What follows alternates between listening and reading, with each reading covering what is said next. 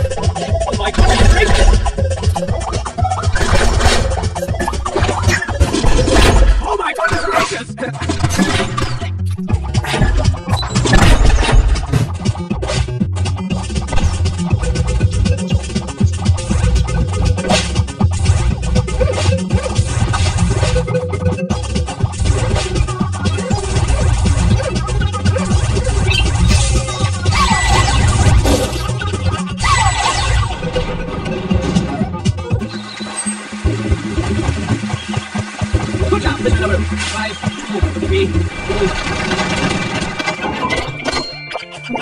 think you need to find some little sparkly gem-shaped freedom keys. Wait, wait.